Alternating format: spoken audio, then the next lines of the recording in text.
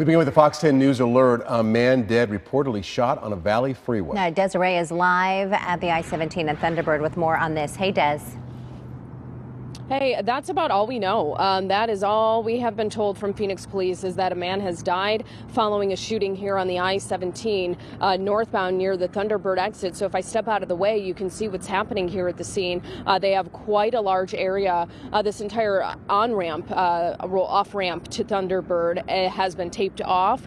We have a police cruiser still here. There are still two crime scene response vans here at the scene, as well as the Phoenix Police Department mobile command unit. Um, so right now, I believe you're seeing some video uh, that we have uh, as well from earlier. If we can pull that up, uh, we're getting a bird's eye view of the situation here, the off ramp. You can see that vehicle is kind of down. Um, what do you want to call that into the pit there just uh, to the left of the off ramp? And you can see that there were quite a bit of police officials investigators here on scene earlier. Uh, so that vehicle just kind of stuck there at the bottom as they continue gathering some evidence to piece together the situation and find out uh, what exactly happened here. But at this time uh, the I-17 northbound off ramp to Thunderbird remains closed. We'll send it back to you guys